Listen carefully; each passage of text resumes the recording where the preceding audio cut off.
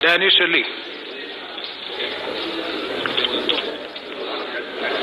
धन्यवाद सभापति जी मैं अपनी पार्टी, बहुजन समाज पार्टी और उसकी नेता बहन कुमारी मायावती जी की तरफ़ से भी आपका शुक्रिया अदा करता हूँ कि आपने मुझे बोलने का मौका दिया वर्ष 2019-20 का बजट जो माननीय वित्त मंत्री श्रीमती निर्मला सीतारामन जी ने पेश किया उसने देश में रह रहे करोड़ों गरीबों, शोषितों, वंचितों, किसानों, युवाओं, महिलाओं, मजदूरों का दिल तोड़ दिया है।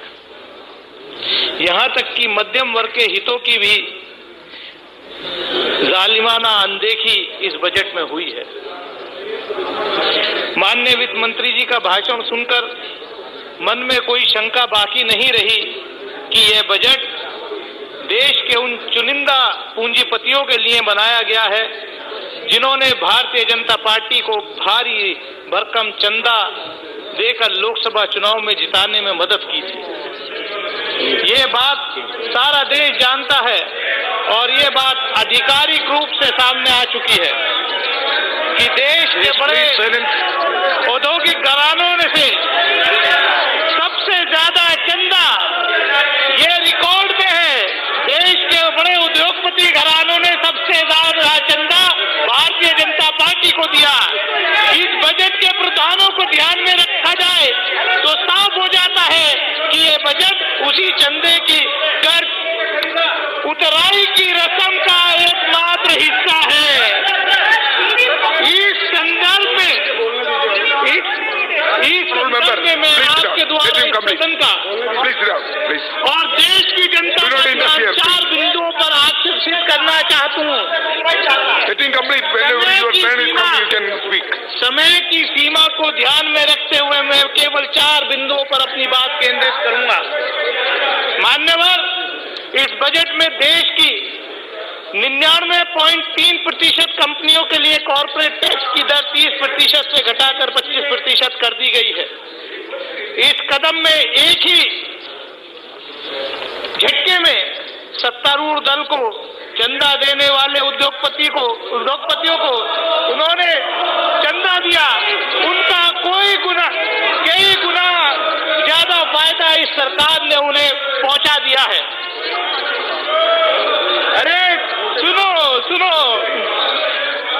विडंबना देखिए मान्यवर मान्यवर देश में परेशान गरीब शोषित वंचित किसान युवा महिला और मजदूर हैं और ये सरकार फ़ायदा उद्योगपतियों को पहुँचा रही है।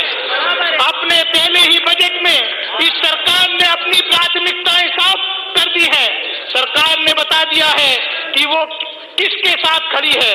ये सरकार गरीब, मजदूर, किसान, युवा, वंचितों के साथ नहीं खड़ी है। ये सरकार खड़ी है उन अमीर लोगों के साथ जिन्होंने सत्ताधारी दल को मोटे मोटे चंदे दिए हैं।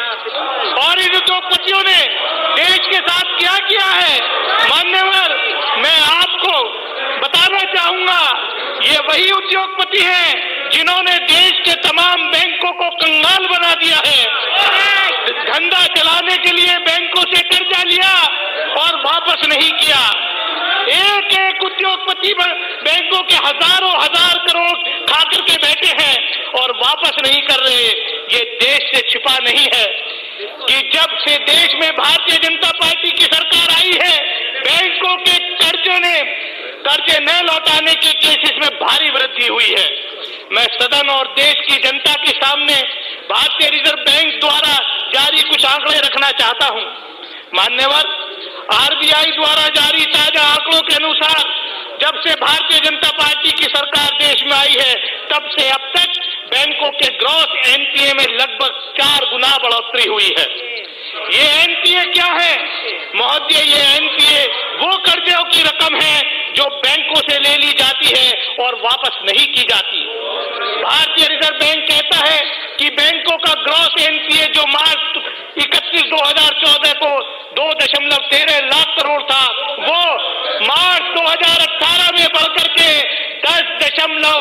सैतालीस लाख करोड़ हो गया है। आरबीआई द्वारा जारी आंकड़ों में अगर सरकारी बैंकों के एनपीओ पर नज़र डाली जाए तो उसकी स्थिति और भी बदतर है। वर्ष 2014 में दो दशमलव सत्ताईस लाख करोड़ था, जो 18 में बढ़कर के आठ दशमलव पिचानवे लाख करोड़ हो गया है। मान्यवर, मैं आपसे इतना ही कहना चाहता हूँ कि ये सरकार बहुत अच्छी तरीके से, बहुत अच्छी तरीके से सपने दिखाती है। सपने बेचना और सपनों की मार्केटिंग करना कोई अगर सीखे तो इनसे सीखे।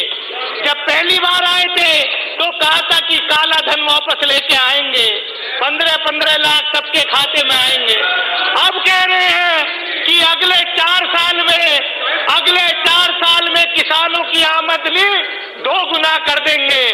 पता नहीं कौन सी रफ्तार से, कौन सी जादू की छड़ी से करने वाले हैं। मैं कहना चाहता हूँ कि ये कह रहे हैं पाँच ट्रिलियन डॉलर की इकोनॉमी हम चाहते हैं हो। देश का हर व्यक्ति चाहता है हो। लेकिन जो इनकी नियत है, वो साफ़ नहीं है। सपना दिखाना बहुत अच्छी तरीके से जानते हैं। इंश्योरेंस सेक्टर को जिस तरीके से बेलगाम छोड़ा गया है, मैं कहना चाहता हूँ, कि इंश्योरेंस सेक्टर को जिस तरीके से बेलगाम छोड़ा गया है, किसानों की जो प्रधानमंत्री फ़सल बीमा योजना के तहत जो इंश्योरेंस होता है यहाँ कई साथी किसान परिवार से आते हैं, दिल पे हाथ रख करके बता दें कि कौन से किसान को जो है उस बीमा के तहत मुआवजा मिलता है। किसानों में मरते में दो लाख मारने का और काम होता है किसानों से इंश्योरेंस के नाम पर प्रीमियम वसूल किया जाता है। एक तो वो कर्जे पर ब्याज देता है, ऊपर से उससे प्रीमियम और वसूल किया जाता है। ये सिर्फ़ कॉरपोरेट हाउसेस को, ये सिर्फ़ कॉरपोरेट हाउसेस को इंश्योरेंस के माध्यम से फ़ायदा पहुँचाने के लिए ये फ़सल बीमा योजना जो है, लाई गई है। मान्यवर, मैं, आप सब जानते हैं कि पिछले 45 साल में बेरोजगारी सबसे ज़्यादा बढ़ी है। ये आंकड़े हैं, मैं नहीं कह रहा। लेकिन उसका उससे लड़ने के लिए कुछ नहीं हुआ। यहाँ पर अभी तो सरकार लेबर लॉ में भी भारी परिवर्तन के संकेत दे रही है। यह भी एक जन विरोधी निर्णय है। उद्योगपतियों को हायर एंड फायर का अधिकार ये सरकार देने वाली है। कर्मचारियों की छटनी इसी के माध्यम से होने वाली है। मैं कहना चाहता हूँ कि ये सारे फैसले जो हैं, ये पहला, पहली बार है कि जो मुनाफे में उपक्रम चल रहे हैं सरकारी, उनके भी शेयर जो है बेचने की बात ये सरकार कर रही है। इससे पहले कभी किसी सरकार ने, चाहे कांग्रेस की सरकार रही हो या संयुक्त मोर्चा की सरकार रही हो या एनडीए की, वाजपेयी जी की सरकार रही हो कभी भी मुनाफे में चल रहे पब्लिक सेक्टर अंडरटेकिंग्स के शेयर जो है, वो बेचने की बात नहीं हुई ये पहली बार इस सरकार ने जो संकेत दिए हैं कि वो मुनाफे में चल रहे पीएसयू के शेयर भी जो है बेचेगी, ये क्यों? ये सीधा मकसद ये है कि जो कुछ बची कुची सरकारी नौकरियाँ हैं, जो दलितों को और पिछड़े वर्ग के नौजवानों को मिलती हैं, उनके हाथों से वो रोज़गार छीनना है। वो सरकारी नौकरियाँ उन दलितों से और पिछड़ों से छीननी है। इसलिए ये मुनाफे में चल रही जो सरकारी उपक्रम है, उन्हें भी बेचने की सोच रहे हैं।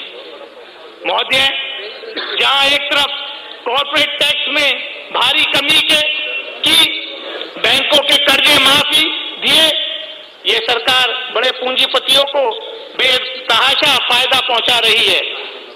वहीं दूसरी ओर, देश की जो गरीब जनता को महँगाई के बोझ के नीचे दबाने का काम ये सरकार कर रही है। इस बजट में डीजल और पेट्रोल की कीमतों को बढ़ाया गया है। इस इस बजट में डीजल और पेट्रोल की कीमतों को जो बढ़ाया गया है उससे आम आदमी के इस्तेमाल की हर ज़रूरी चीज़ों की कीमत में वृद्धि होगी। सरकार के इस फैसले से देश की गरीब जनता की परेशानी और बढ़ेगी। गरीब को राहत देना तो दूर। सरकार के इस बजट ने गरीब की मेहनत की कमाई छीन कर अपनी जेब में डालने का काम किया है। ये कैसी सरकार है जो गरीबों से छीन करके अमीरों को बांटने का काम कर रही है। साथ साथ ही महोदय महोदय मैं तो इतना ही कहना चाहता हूँ। ये तो निशिकांत दुबे जी को तो इसीलिए रखा है इनकी पार्लियामेंट्री पार्टी ने। अभी तक रूल बुक नहीं निकाली है। अभी तक तो रूल बुक निकाल आता है। रूल बुक निकाल सकते थे। क्योंकि क्योंकि सच्चाई सुनने की इन इन इन, इनमें क्षमता नहीं है, सच्चाई नहीं सुनना चाहते। जब गरीब की बात अगर इस इस संसद के अंदर होगी, जब शोषित की बात इस संसद के अंदर होगी तो ये नहीं सो, सुनेंगे। किसान किसान की बात जब होगी, ये नहीं नहीं सुनेंगे, क्योंकि इनको इनको तो केवल जो इनके मास्टर्स हैं जो चुनाव में हज़ारों करोड़ रुपया जो आता है, इनको तो उनको उनको, उनकी बात यहाँ करनी है। हम गरीब की, किसान की बात करते हैं, ये डिस्टर्ब करते हैं। महोदय महोदय, मैं आपसे कहना चाहता हूँ कि ये बजट जो है, ये गरीब विरोधी है, ये किसान विरोधी है, ये नौजवान विरोधी है, ये महिला विरोधी है। इसलिए मैं अभी भी वित्त मंत्रालय आपके माध्यम से वित्त मंत्री जी से कहना चाहूँगा कि बजट को पास कराने से पहले सोचिए कि इस देश में जो गरीब है, जो वंचित है, जो शोषित है, उसके बारे में आपको कुछ करना होगा। ऐसे जो है, आप तो आपके लिए जो देश ने, जो वो बात अलग है कि ईवीएम के माध्यम से आए हैं, लेकिन फिर भी आए तो हैं। कम से कम गरीब और शोषितों के बारे में कुछ सोचिए। और मैं इन्हीं बातों के साथ आपका एक बार फिर धन्यवाद देता हूँ। बहुत बहुत शुक्रिया। ऑनरेबल मेंबर से Sunil Thackeray sir thank you very much for